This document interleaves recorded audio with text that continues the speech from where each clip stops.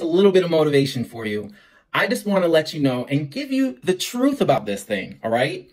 It's going to be hard.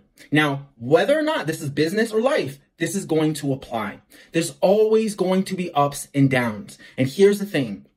We know this.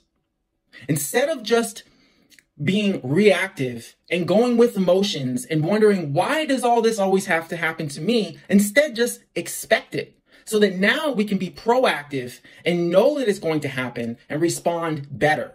The way that we decide to respond is a choice that we make when we're faced with situations.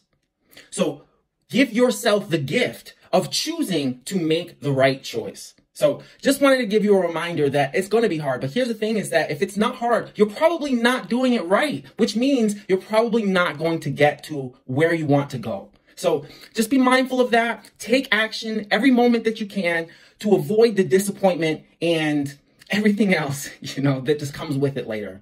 Have a fantastic day.